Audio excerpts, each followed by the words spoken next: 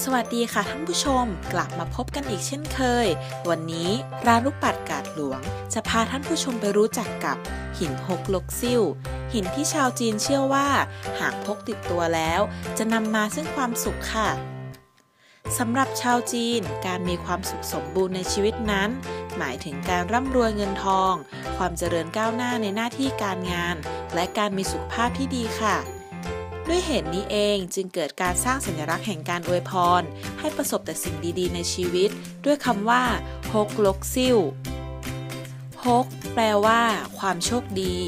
ลก แปลว่ายศถาบรรดาศักดิ์การมีโชคราบอำนาจวาสนาและบารมี มีฐานะมั่นคง ซึ่งประกอบไปด้วย การมีชื่อเสียงเกียรติยศในสังคม ความเจริญรุ่งเรืองทางการเงิน และเป็นที่รักเคารพของคนรอบข้าง ส่วนคำว่าซิ่วแปลว่า การมีอายุยืนยาว สุขภาพกายและใจแข็งแรงสมบูรณ์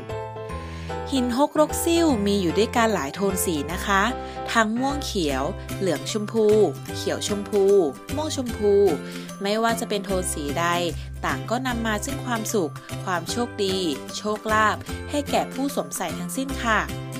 หากผู้ชมท่านใดต้องการทราบสรรพคุณ หรือสนใจชมสินค้าตัวอื่นเพิ่มเติม สามารถเลือกรับชมได้ที่ www.lupadd.com ค่ะ